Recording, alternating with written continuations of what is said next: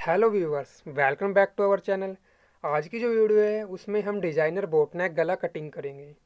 आप इस वीडियो को कंप्लीट देखने के बाद आप इस गले को आसानी से कटिंग कर सकते हैं। अगर आप नीचे से वी शेप नहीं रखना चाहते तो आप सिंपल बोटनेक गला वीडियो देखने के बाद कंप्लीट कट कर सकते हैं। सबसे पहले, हमने गला कटिंग करने के लिए बुकरम का एक पीस लिया है, जिसमें जो हमारी बुकरम की चौड़ाई रखी है हमने, वो साढ़े दस इंच की रखी है, और जो हमारी बुकरम की लंबाई है, वो साढ़े आठ इंच है। मैं दोबारा बताना चाहूँगा आपको, जो हमारे बुकरम की जो चौड़ाई है, वो साढ़े दस इंच है, और जो हमारे बुकरम की जो लंबाई है, वो साढ़े आठ इंच हमने रखी है। अब हमें इस बुकरम को डबल फोल्ड कर लेना है। बिल्कुल सेंटर से हमें इस बुकरम को डबल फोल्ड करना है।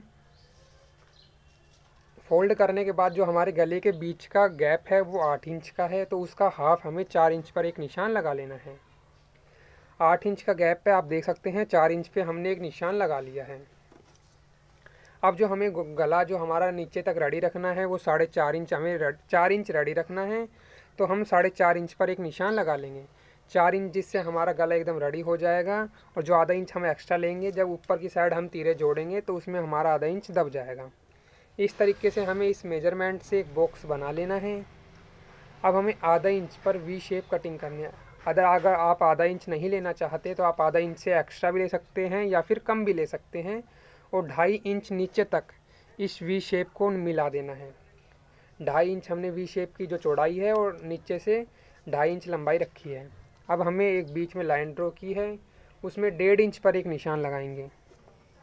इस डेढ़ इंच के निशान पे हमें अपने बोट नेक गले की शेप दे देनी है। इस डेढ़ इंच के निशान लगाने से आप आसानी से बोट नेक गले को शेप दे सकते हैं। अगर आप नीचे से वी शेप नहीं कटिंग करना चाहते अपने गले को तो आप इस बोट नेक गले को कटिंग कर सकते हैं, जिससे आप बोट नेक गला भी बनाना सीख जाएँगे। अगर आप इसमें और डिज़ाइंस भी ऐड करना चाहते हैं तो वो भी कर सकते हैं। आई होप ये वीडियो आपके लिए काफ़ी यूज़फुल होगी। ऐसी ही वीडियो, जो स्टिचिंग रिलेटेड वीडियो है, हमारे चैनल पर रोज़ाना आती रहती हैं। तो आप हमारे चैनल को सब्सक्राइब करने के साथ साथ बेल आइकन को दबा लें, जिससे आने वाली वीडियो का नोटिफिकेशन आप तक सबसे पहले पहुँच जाएगा। इस तरीके से जो हमने अपना गला है, वो कटिंग कर लिया है। अब बाहर से एक एक इंच की दूरी पर हमने अपने कंप्लीट गले को कटिंग कर लेना है। और ऐसी बहुत सारी वीडियोज़ हमारे चैनल पर अवेलेबल हैं, जिनको देखकर आप आसानी से सिलाई सीख सकते हैं। इस तरीके से जो हमने अपने गला है, वो कटिंग कर ली है।